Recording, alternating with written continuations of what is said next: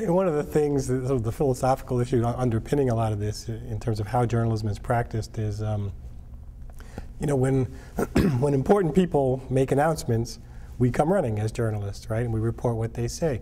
But then, what if they're lying? You know, there's not a good way for journalists um, to feel comfortable about pointing out that people aren't telling the truth without feeling like they're injecting themselves into the story. Although lately we have tried, uh, if we if I'm doing an interview, where other anchors at CNN are doing an interview, Anderson Cooper or whoever, John King, uh, Candy Crowley, whoever, uh, and we're interviewing somebody, and we know that person is not telling us the truth or withholding something, you know, we challenge them in a polite way. We don't just say you're a liar or something, but we say that's not true.